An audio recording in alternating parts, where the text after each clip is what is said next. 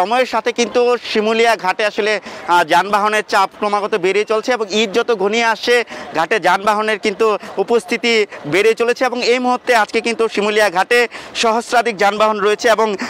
শিমুলিয়া যে ঘাটের parking yard রয়েছে, সেই ইয়ার্ড কিন্তু আসলে এখন যানবাহনে আসলে একেবারে ভরে উঠেছে এবং এসব যানবাহনের মধ্যে কিন্তু ব্যক্তিগত গাড়ির পাশাপাশি আবার পিক এবং মিনি ট্রাকও রয়েছে এবং তবে ঘাট জুড়ে যেসব যানবাহন রয়েছে, তার মধ্যে কিন্তু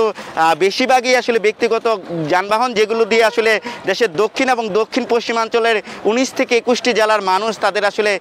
ঈদকে কেন্দ্র করে নারীর টানে বাড়ি ফিরছে এবং তারা কিন্তু ঈদ যাত্রায় তাদের যে প্রতি বছরই আসলে ভোগান্তির মধ্যে পড়তে হয়, বিশেষ করে ফেরিতে গাদাগাদি করে তাদের আহরণ এবং ফেরির জন্য দীর্ঘক্ষণ অপেক্ষা এড়াতেই কিন্তু আসলে তারা আগে ভাগে ঘাটে এসে উপস্থিত হয়। কিন্তু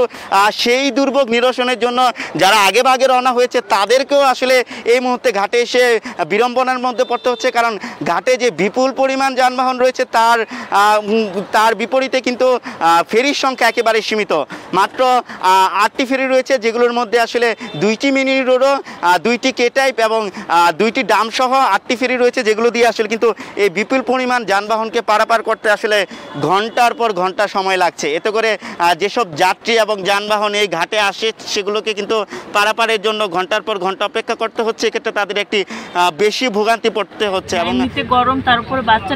বিরক্ত করতেছে কোনো ফেরি নাই যাও একটু আসতেছে অনেক ছোট হয় খুবই কম গাড়ি যেতে পারতেছে যার কারণে আমাদের যে ঘণ্টার পর ঘণ্টা বসে থাকতে হচ্ছে। কোন সময় সারে তার কোনো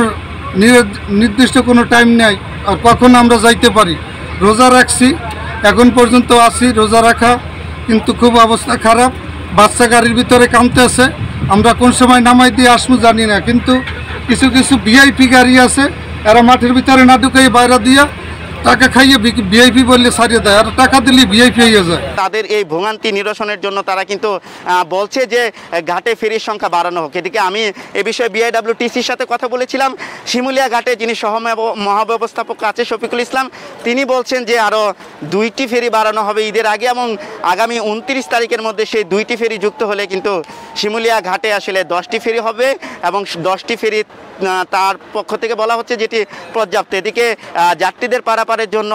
ফেরির পাশাপাশি লঞ্চ এবং স্পিডবোট এই শিমুলিয়া মাঝিরকান্দি এবং শিমুলিয়া বাংলা বাজার নৌ রুটে সচল রয়েছে।